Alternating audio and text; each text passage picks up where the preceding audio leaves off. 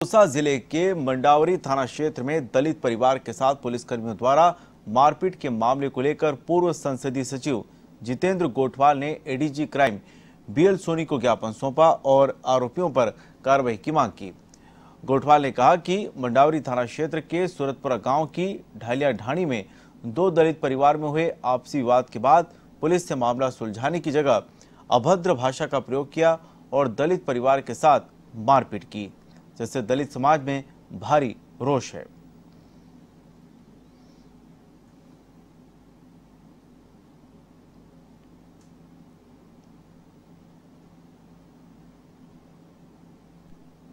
लालसोट मंडावरी थाने के ग्राम सूरतपुरा के मामले में ज्ञापन देने का कार्यक्रम तय हुआ।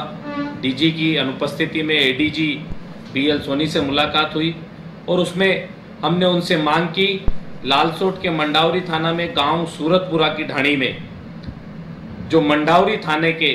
पुलिस कर्मियों ने और सीओ ने मिलकर गरीब दलितों के साथ जो मारपीट की, उन सब के खिलाफ कार्रवाई हो, उनको निलंबित किया जाए, उनके